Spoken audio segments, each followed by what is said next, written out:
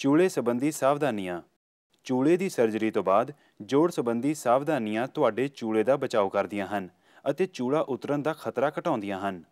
ਇਸ ਵਿੱਚ ਸ਼ਾਮਲ ਹਨ 90 ਦਰਜੇ ਤੋਂ ਵੱਧ ਨਾ ਮੁੜਨਾ।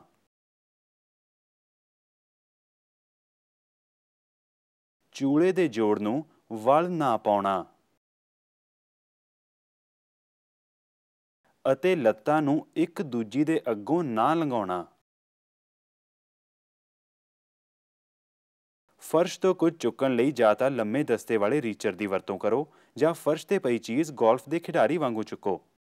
ਗੋਲਫ ਦੇ ਖਿਡਾਰੀ ਵਾਂਗੂ ਫਰਸ਼ ਤੋਂ ਕੁਝ ਚੁੱਕਣ ਲਈ ਕਿਸੇ ਮਜ਼ਬੂਤ ਕੁਰਸੀ ਜਾਂ ਮੇਜ਼ ਨੂੰ ਫੜੋ ਅਤੇ ਆਪਣੀ ਸਰਜਰੀ ਵਾਲੀ ਲੱਤ ਨੂੰ ਪਿੱਛੇ ਨੂੰ ਖਿਸਕਾਓ। ਆਪਣੀ ਮਜ਼ਬੂਤ ਲੱਤ ਨੂੰ ਮੋੜੋ ਅਤੇ ਫਰਸ਼ ਤੇ ਪਈ ਚੀਜ਼ ਚੁੱਕੋ।